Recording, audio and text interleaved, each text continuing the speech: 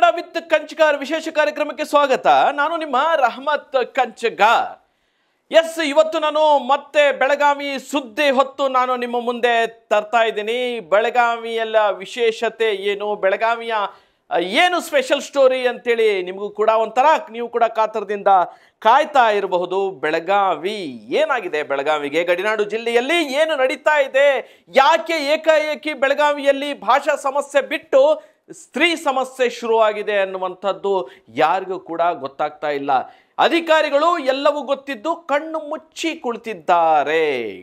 ಎತ್ರ ನಾರೆಸ್ತು ಪೂಜ್ಯಂತೆ ರಮಂತೆ ತತ್ರ ದೇವತಾಹ ಅನ್ನುವಂತಹ ಒಂದು ಸಂಸ್ಕೃತಿ, ಆ ಒಂದು ಶ್ಲೋಕವನ್ನ ಪಾಲಿಸುವಂತಹ ನಾವು ಎಲ್ಲಿ ನಾರಿಯರ ಪೂಜೆ ಆಗುತ್ತೋ ಅಲ್ಲಿ ದೇವತೆಗಳು ಪ್ರಸನ್ನರಾಗುತ್ತಾರೆ ಅಂತ ಹೇಳುವಂತಹ ನಾವು ಇವತ್ತು ಬೆಳಗಾವಿ ಜಿಲ್ಲೆಯಲ್ಲಿ ಏನಾಗ್ತಾ ಇದೆ ಅನ್ನುವಂಥದ್ದನ್ನು ಒಂದು ಸ್ವಲ್ಪ ಗಮನ ಇಟ್ಟು ನೋಡಿದರೆ ಎಲ್ಲರಿಗೂ ಕೂಡ ದಿಗ್ಭ್ರಮೆ ಆಗುತ್ತೆ. ಪ್ರಜ್ಞಾವಂತರು, ಮನುಷ್ಯರು, ಮನುಷ್ಯತ್ವ ಅಂತೇಳಿ ಇದ್ದವರು ಎಲ್ಲರೂ ಕೂಡ ಒಂದು ಕ್ಷಣ ತಲೆ ತಗ್ಗಿಸಬೇಕಾಗಿರುವಂತಹ ಒಂದು ಪರಿಸ್ಥಿತಿ ಗಡಿನಾಡಿನಲ್ಲಿ ಉದ್ಭವಿಸಿದೆ ಅಂತಂದರೆ ಬಹುಶಃ ತಪ್ಪಾಗಲಿಕ್ಕಿಲ್ಲ. ಏನದು ಪ್ರಕರಣ? ಯಾಕೆ ಹೀಗಾಗ್ತಾ ಇದೆ? ಒಂದಲ್ಲ, ಎರಡಲ್ಲ ಬರೋಬ್ಬರಿ ಮೂರು ಪ್ರಕರಣಗಳು ಕೇವಲ ಒಂದು ಒಂದೂವರೆ ತಿಂಗಳಲ್ಲಿ ಮೂರು ಮಹಿಳೆಯರ ಮೇಲೆ ಅತ್ಯಾಚಾರಕ್ಕೆ ಯತ್ನ ವಿವಸ್ತ್ರಗೊಳಿಸಿ ಅವಮಾನ. ಎಂಥ ಒಂದು ಪರಿಸ್ಥಿತಿಯಲ್ಲಿ ನಾವು ಜೀವನ ನಡೆಸ್ತಾ ಇದ್ದೇವೆ. ಬೆಳಗಾವಿನೋ ಇಲ್ಲ ಅದು ಬಿಹಾರೋ. ಬಿಹಾರದ ಒಂದು ಪರಿಸ್ಥಿತಿ ಬೆಳಗಾವಿಯಲ್ಲಿ ಬಂದಿದೆ ಅಂತಂದ್ರೆ ಬಹುಶಃ ಇದನ್ನು ಸಹಿಸಿಕೊಳ್ಳೋಕೆ ಯಾರಿಂದನೂ ಸಾಧ್ಯವೇ ಇಲ್ಲ ಅನ್ನುವಂಥ ಸ್ಥಿತಿ ಇದೆ. ಯಾಕೆ ಗೊತ್ತಾ? ಬೆಳಗಾವಿ ಅಂದ ತಕ್ಷಣ ಒಂದು ಕನ್ನಡತ್ವ ಬೆಳಗಾವಿ ಅಂದ ತಕ್ಷಣ ಒಂದು ವೀರತ್ವ, ಬೆಳಗಾವಿ ಅಂದ ತಕ್ಷಣ ಕಿತ್ತೂರು ರಾಣಿ ಚೆನ್ನಮ್ಮ ಮೆಟ್ಟಿರುವಂತಹ ನಾಡದು. ಆ ಚೆನ್ನಮ್ಮನ ನಾಡಿನಲ್ಲಿ ಎಂಥ ಒಂದು ಸಿಚುವೇಶನ್ ಎಂಥ ಒಂದು ಪರಿಸ್ಥಿತಿ ಉದ್ಭವಿಸಿದೆ ನೋಡ್ತಾ ಇದ್ದೀ, ನೋಡ್ತಾ ಇದ್ದೀರಲ್ಲ? ನಿಜವಾಗ್ಲೂ ಪ್ರತಿಯೊಬ್ಬರು ಕೂಡ ಇದನ್ನು ಖಂಡಿಸಬೇಕಾಗಿರುವಂತಹ ಒಂದು ಅನಿವಾರ್ಯ ಪರಿಸ್ಥಿತಿ ಈಗ ನಿರ್ಮಾಣ ಆಗಿದೆ. ಸಂಗೊಳ್ಳಿ ರಾಯಣ್ಣ ನೆಲೆಸಿರುವಂತಹ ಆ ಒಂದು ಊರಲ್ಲಿ, ಚೆನ್ನಮ್ಮಾಜಿ ನಡೆಸಿರುವಂತಹ ಊರಲ್ಲಿ ಮಹಿಳೆಗೆ ಅಪಮಾನ ನಿರಂತರ ಅಪಮಾನ ನಡೀತಾ ಇದೆ ಅಂತಂದ್ರೆ ಇದು ಎಂಥವರು ಇದನ್ನ ಸಹಿಸ್ಕೊಳ್ತಾರೆ ಹೇಳಿ? ಇಡೀ ಬೆಳಗಾವಿಗೆ ಅಷ್ಟೇ ಇಲ್ಲ, ಇಡೀ ಮಹಿಳಾ ಕುಲಕ್ಕೆ ಇದು ಅಪಮಾನ. ನಾವೆಲ್ಲ ಕೇಳ್ತಾ ಇದ್ವಿ, ಅಲ್ಲಿ ಇಲ್ಲಿ ಅಂತೇಳಿ. ಬಿಹಾರದ ಬಗ್ಗೆ ಪ್ರತಿ ಸಾರಿ ಏನಾದರೂ ದೊಡ್ಡ ಮಟ್ಟದ ಕ್ರೈಮ್ ಆದರೆ, ಹೆಣ್ಣಿಗೆ ಶೋಷಣೆ ಆದರೆ, ಹೆಣ್ಣು ಮಕ್ಕಳ ನಿರಂತರ ಮೇಲೆ, ಅವರ ಮೇಲೆ ಅತ್ಯಾಚಾರಗಳು, ಪ್ರಕರಣಗಳು ನಡೀತಾ ಇದ್ರೆ ನೇರವಾಗಿ ನಾವು ಬಿಹಾರದ ಕಡೆ ಬೊಟ್ಟು ಮಾಡ್ತಾ ಇದ್ವಿ. ಇದು ಬಿಹಾರಿ ಸಂಸ್ಕೃತಿನ ಅನ್ನುವಂತಹ ಬಿಹಾರನ್ನು ನಾವು ಇಲ್ಲಿ ಪದೇ ಪದೇ ಪ್ರಸ್ತಾಪವನ್ನು, ಪ್ರಸ್ತಾವನೆ ಮಾಡ್ತಾ ಇದ್ವಿ. ಆದರೆ ಈಗ ಸದ್ಯದ ಪರಿಸ್ಥಿತಿ ಹೇಗಾಗಿದೆ ಅಂದರೆ ಕರ್ನಾಟಕದಲ್ಲಿ ಮಹಿಳೆಗೆ ಅದರಲ್ಲೂ ಕೂಡ ಮಹಿಳಾ ಮತ್ತು ಮಕ್ಕಳ ಕಲ್ಯಾಣ ಸಚಿವೆ ಇರುವಂತಹ ಜಿಲ್ಲೆ, ಅವರು ತವರು ಜಿಲ್ಲೆಯಲ್ಲಿ ಮಹಿಳೆ ಎಷ್ಟರ ಮಟ್ಟಿಗೆ ಸೇಫ್ ಆಗಿದ್ದಾಳೆ, ಮಹಿಳೆ ಎಷ್ಟರ ಮಟ್ಟಿಗೆ ಸೇಫ್ ಆಗಿ ಮನೆ ಸೇರಬಹುದು ಅನ್ನುವಂಥದ್ದೇ ಈಗ ಒಂದು ರೀತಿ ಡೌಟ್ ಆಗಿ ಹೋಗಿದೆ. ಒಂಟುಮುರಿ ಪ್ರಕರಣ, ನೋಡ್ತಾ ಇದ್ರೆ ಇದು ಒಂಟುಮುರಿ ಪ್ರಕರಣದ ಒಂದು ಚಿತ್ರಣ. ಒಂಟುಮುರಿ ಪ್ರಕರಣದಲ್ಲಿ ಏನಾಯ್ತು ಅಂತ ಪ್ರತಿಯೊಬ್ಬರಿಗೂ ಗೊತ್ತಾಗಿದೆ. ಪ್ರೀತಿ ಮಾಡೋ ತಪ್ಪ ಅನ್ನುವಂಥ ಒಂದು ವಿಚಾರ ತಾಯಿನ ಎಳ್ಕೊಂಡು ಬರ್ರ ಬರ್ರ ಎಳ್ಕೊಂಡು ವಿವಸ್ತ್ರಗೊಳಿಸಿರುವಂತಹ ಒಂದು ಪ್ರಕರಣ ಇನ್ನೂ ಜೀವಂತವಾಗೇ ಇದೆ. ಇಡೀ ದೇಶದ ಗಮನ ಸೆಳೆ, ಸೆಳೆದಿರುವಂತಹ ಏನು ಒಂಟುಮುರಿ ಪ್ರಕರಣ ಇತ್ತು, ಅದು ಇನ್ನೇನು ಮುಗೀತು ಒಂದು ತಹಬದಿಗೆ ಬರ್ತಾ ಇದೆ. ಎಲ್ಲರನ್ನ ಪೊಲೀಸರು ಅರೆಸ್ಟ್ ಮಾಡಿ ಆ ಸಂತ್ರಸ್ತೆಗೆ ನ್ಯಾಯ ಕೊಡಿಸ್ಬೇಕು ಅನ್ನುವಂತಹ ದೃಷ್ಟಿಯಿಂದ ಎಲ್ಲ ಮಿನಿಸ್ಟ್ರುಗಳು, ಸಂಬಂಧಪಟ್ಟ ಸಚಿವರು ಎಲ್ಲರೂ ಹೋಗಿ ಅವ್ರ ಮನೆಗೆ ಸಾಂತ್ವನ ಹೇಳಿ ಬಂದಿರ್ತಾರೆ. ಸೊ ಇದು ಎಲ್ಲ ಹೇಳಿ ಇನ್ನೇನು ಮುಗಿತಪ್ಪ ಅಂಥೇಳಿ ಪ್ರಕರಣದಿಂದ ಎಲ್ಲ ಅಧಿಕಾರಿಗಳು, ಸಂಬಂಧಪಟ್ಟ ಸಚಿವರು ಎಲ್ಲರೂ ಕೈ ತೊಳೆದುಕೊಳ್ಳುವಂತಹ ಒಂದು ಪ್ರಕ್ರಿಯೆ ಇನ್ನೂ ನಡೀತಾ ಇರಬೇಕಾದ್ರೇ ಮತ್ತೊಂದು ಪ್ರಕರಣ ಜೀವ ಪಡೆದುಕೊಳ್ಳುತ್ತೆ. ಎಸ್ ನಾನು ಮಾತಾಡ್ತಾ ಇರೋದು ಅದೇ ಬೆಳಗಾವಿ ಬಗ್ಗೆ. ಅದೇ ಬೆಳಗಾವಿಯಲ್ಲಿ ಮತ್ತು ಎರಡು ಪ್ರಕರಣಗಳು. ಎರಡು ಪ್ರಕರಣಗಳು ನಡೆಯುತ್ತೆ. ಬೆಳಗಾವಿ ತಾಲೂಕಿನ ಬಸುರ್ತೆ ಅನ್ನುವಂಥ ಒಂದು ಗ್ರಾಮದಲ್ಲಿ ನಿಜವಾಗ್ಲೂ ಘನಘೋರವಾಗಿರುವಂಥ ಒಂದು ಚಿತ್ರಣ ಘನಘೋರವಾಗಿರುವಂಥ ಒಂದು ಘಟನೆ ನಡೆದು ಹೋಗುತ್ತೆ. ಕ್ಷುಲ್ಲಕ ಕಾರಣ ರೀ, ಏನೂ ಕಾರಣ ಇಲ್ಲ. ಕ್ಷುಲ್ಲಕ ಕಾರಣಕ್ಕೆ ಅಂಗನವಾಡಿ ಸಹಾಯಕಿಯ ಮೂಗನ್ನು ಕತ್ತರಿಸಿ ಹಾಕ್ತಾರೆ. ಮೂಗನ್ನ ಕತ್ತರಿಸಿ ಹಾಕ್ತಾರೆ. ಮೂಗನ್ನ ಕತ್ತರಿಸಿದ ತಕ್ಷಣ ಮೂಗಿನ ಒಳಗಿರುವಂತಹ ರಕ್ತ ಶ್ವಾಸಕೋಶಕ್ಕೆ ಸೇರಿ ಆ ಅಂಗನವಾಡಿ ಸಹಾಯಕಿ ಸಾವು ಬದುಕಿನ ನಡುವೆ ಹೋರಾಟವನ್ನು ನಡೆಸಿದ್ದಾಳೆ ಕಾರಣ ಕೇಳಿದರೆ ನೀವು ಕ್ಯಾಕಸಿ ಮುಖಕ್ಕೆ ಉಗಿತೀರಿ. ಏನಿದೆ ಗೊತ್ತಾ ಕಾರಣ?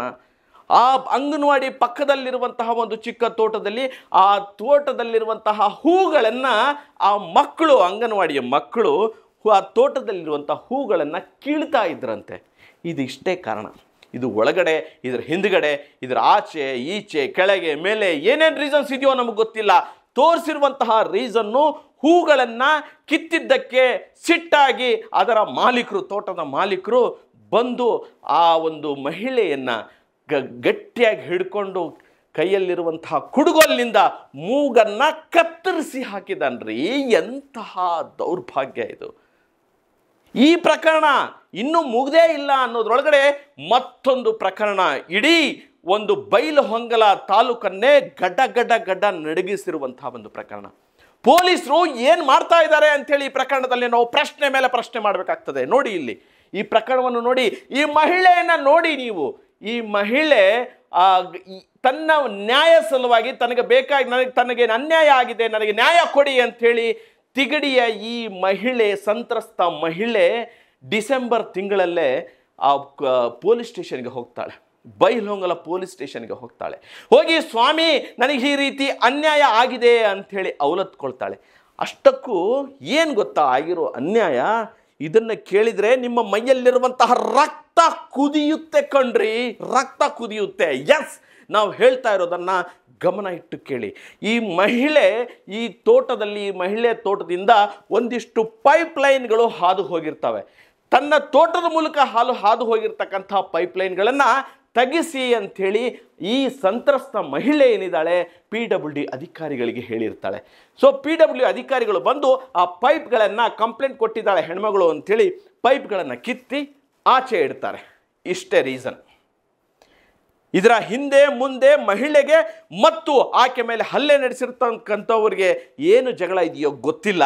ಈ ಪೈಪನ್ನು ಕೀಳಿಸಿದೆಯಾ ಅನ್ನುವಂಥ ಒಂದೇ ಒಂದು ಕಾರಣಕ್ಕೆ ಆ ಪೀಡಿತ ಮಹಿಳೆಗೆ, ಸಂತ್ರಸ್ತೆ ಮಹಿಳೆಗೆ ಆ ಒಂದು ಜಾಗದ ಮಾಲೀಕರು, ಅಲ್ಲಿನ ಗ್ರಾಮ ಪಂಚಾಯಿತಿಗೆ ಸೇರಿರುವಂತಹ ಸದಸ್ಯರು ಎಲ್ಲರೂ ಸೇರಿಕೊಂಡು ಸುಮಾರು ಹದಿನೈದರಿಂದ ಇಪ್ಪತ್ತು ಜನ ಸೇರಿಕೊಂಡು ಆ ಮಹಿಳೆ ಮೇಲೆ ಮುತ್ತಿಗೆ ಹಾಕ್ತಾರೆ. ಆ ಮಹಿಳೆ ಆ ನೈಟಿಯಲ್ಲಿ ಇರುವಂತಹ ಒಂದು ಸಂದರ್ಭದಲ್ಲಿ ನೈಟಿಯನ್ನ ಎಳಿತಾರೆ. ಎಲ್ಲರ ಮುಂದೆ ವಿವಸ್ತ್ರಗೊಳಿಸ್ತಾರೆ. ತಲೆ ಮೇ ಕೂದಲು ಹಿಡ್ಕೊಂಡು ಜಗ್ತಾರೆ.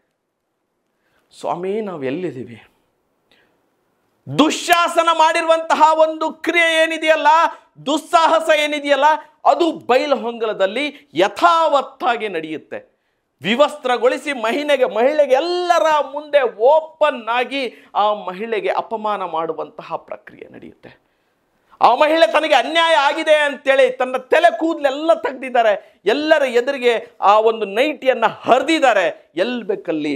ಎಲ್ಲ ಹೆಂಗ್ ಬೇಕಂಗೆ ಆ ಕೈಯಿಂದ ಎಲ್ಲ ಎಲ್ಲ ಗಾಯಗೊಳಿಸಿದ್ದಾರೆ. ತನಗೆ ಹಿಂಗೆ ಅನ್ಯಾಯ ಆಗಿದೆ ಅಂಥೇಳಿ ಪೊಲೀಸ್ ಸ್ಟೇಷನ್ಗೆ ಹೋದರೆ ಪೊಲೀಸರು ಕ್ಯಾರೆ ಅಂದಿಲ್ಲ. ಒಂದು ಮಹಿಳೆ ತನಗೆ ಅನ್ಯಾಯ ಆಗಿದೆ, ತನಗೆಲ್ಲ ಪರಿಸ್ಥಿತಿ ಹೀಗಾಗಿದೆ ಅಂಥೇಳಿ ಸ್ಟೇಷನ್ಗೆ ಹೋದರೂ ಒಬ್ಬರು ಕೂಡ ಕ್ಯಾರೆ ಅಂದಿಲ್ಲ. ಆ ಮಹಿಳೆ ಇಷ್ಟಕ್ಕೆ ಸುಮ್ಮನೆ ಕೂರೋದಿಲ್ಲ. ತನಗಾಗಿರುವಂತಹ ಅನ್ಯಾಯದ ವಿರುದ್ಧ ಡಿ ಜಿ ಹತ್ರ ಹೋಗ್ತಾಳೆ, ಬೆಂಗಳೂರಿಗೆ ಹೋಗ್ತಾಳೆ. ಬೆಂಗಳೂರಿಗೆ ಹೋಗಿ ಅಲ್ಲಿಂದ ಡಿ ಜಿಯಿಂದ ಬೆಳಗಾವಿಯ ಎಸ್ ಪಿ ಭೀಮಾಶಂಕರ್ ಗುಳೇದವರಿಗೆ ಡಿ ಜಿ ಆಫೀಸಿಂದ ಕಾಲ್ ಬರ್ತದೆ.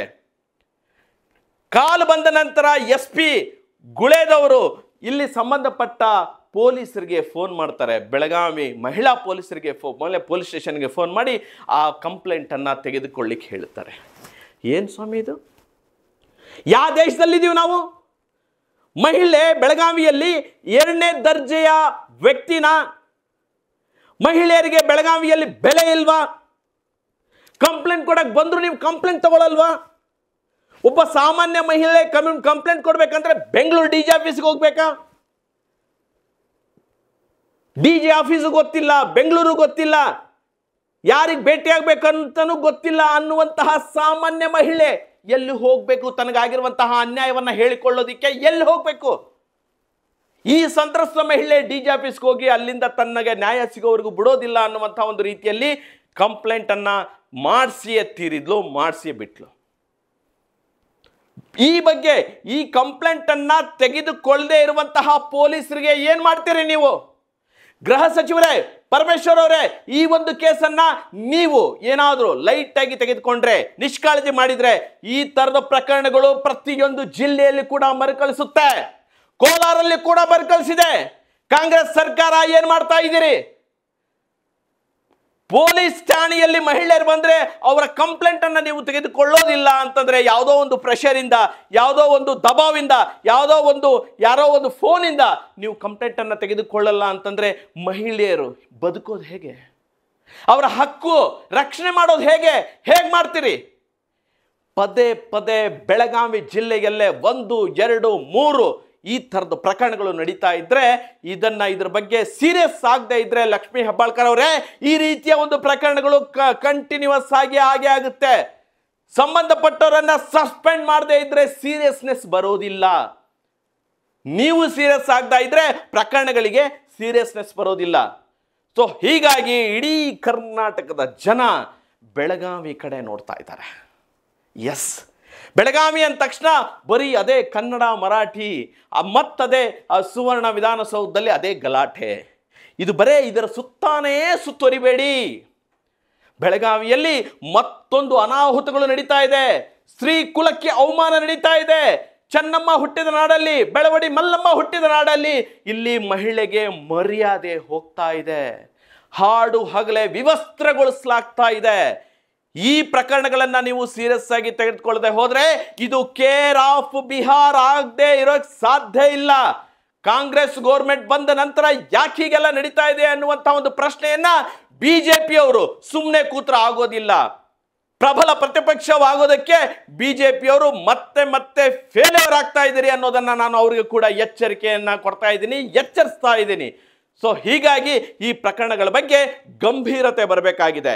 ಹೀಗಾಗಿ ಹೆಣ್ಮಕ್ಕಳಿಗೆ ಬಚಾವೋ, ಮಹಿಳಾ ಬಚಾವೋ ಅನ್ನುವಂಥ ಒಂದು ಪರಿಸ್ಥಿತಿ ಬೆಳಗಾವಿ ಜಿಲ್ಲೆಯಲ್ಲಿ ಉಂಟಾಗಿದೆ. ಮೂರು ಪ್ರಕರಣ ಒನ್ ಟು ತ್ರೈ ಮೂರು ಪ್ರಕರಣ. ಅದು ಹಾಡು ಹಗಲೆ ಮಹಿಳೆಗೆ ಅಪಮಾನ ಮಾಡಿರ್ತಕ್ಕಂಥದ್ದು. ಅವಳ ಶೀಲಕ್ಕೆ ಅಪಮಾನವಾಗಿರುವಂಥದ್ದು, ಚೆನ್ನಮ್ಮನ ನಾಡಿನಲ್ಲಿ ಆಗಿರುವಂಥದ್ರ ಬಗ್ಗೆ ಗಮನ ಹರಿಸಬೇಕು ವೀಕ್ಷಕರೇ. ಈ ಬಗ್ಗೆ ಪ್ರತಿಯೊಬ್ಬರು ಕೂಡ ಕಮೆಂಟ್ ಮಾಡಬೇಕು. ಯಾರಿಗೆ ಮಹಿಳೆಯರ ಬಗ್ಗೆ ಗೌರವವಿದೆ, ಯಾರಿಗೆ ತಾಯಿ ಬಗ್ಗೆ, ಯಾರಿಗೆ ಸಹೋದರಿ ಬಗ್ಗೆ ಯಾರಿಗೆ ಗೌರವ ಇದೆಯಲ್ಲ, ಅವರೆಲ್ಲರೂ ಕೂಡ ಇದನ್ನು ಟ್ಯಾಗ್ ಮಾಡಿ, ಸಂಬಂಧಪಟ್ಟವ್ರಿಗೆ ಟ್ಯಾಗ್ ಮಾಡಿ, ಇದನ್ನು ಫಾರ್ವರ್ಡ್ ಮಾಡಿದರೆ ನಿಮ್ಮ ಒಂದು ಫಾರ್ವರ್ಡ್ ಖಂಡಿತವಾಗ್ಲೂ ಸಾರ್ಥಕ ಆಗುತ್ತೆ. ಈ ಥರದ ಪ್ರಕರಣಗಳು ಮತ್ತೊಮ್ಮೆ ಕರ್ನಾಟಕದಲ್ಲಿ ಮರುಕಳಿಸಬಾರ್ದು. ಶಾಂತಿಯ ನಾಡು ನಮ್ಮದು. ಸರ್ವ ಜನಾಂಗದ ಶಾಂತಿಯ ತೋಟ ಇದು. ಈ ತೋಟದಲ್ಲಿ ಈ ರೀತಿಯ ಒಂದು ವಾತಾವರಣ ಮಂಗಗಳ ಅಟ್ಟಹಾಸವನ್ನು ತಡಿಲೇಬೇಕು. ನಾವು ನೀವು ಜವಾಬ್ದಾರಿ ಹೊತ್ತಿರುವಂತಹ ಜನರು, ನಮ್ಮ ಮೇಲೆ ಕೂಡ ಜವಾಬ್ದಾರಿ ಇದೆ. ಸರ್ಕಾರ ಮೂಗು, ಕಣ್ಣು, ಬಾಯಿ ಮುಚ್ಕೊಂಡು ಕೂತಾಗ ಇದನ್ನೆಲ್ಲ ತೆರೆಸುವಂತಹ ಜವಾಬ್ದಾರಿ ನಮ್ಮ, ನಿಮ್ಮ ಮೇಲಿದೆ. ನನ್ನ ಈ ಒಂದು ಚರ್ಚೆ, ನನ್ನ ಈ ಒಂದು ಕಮೆಂಟ್ ನಿಮಗೆ ಇಷ್ಟ ಆದರೆ ದಯವಿಟ್ಟು ನನಗೆ ಪ್ರತಿಕ್ರಿಯಿಸ್ರಿ. ನಿಮಗಿಷ್ಟ ಆದರೆ ಚಾನಲನ್ನು ಸಬ್ಸ್ಕ್ರೈಬ್ ಮಾಡಿ. Thank you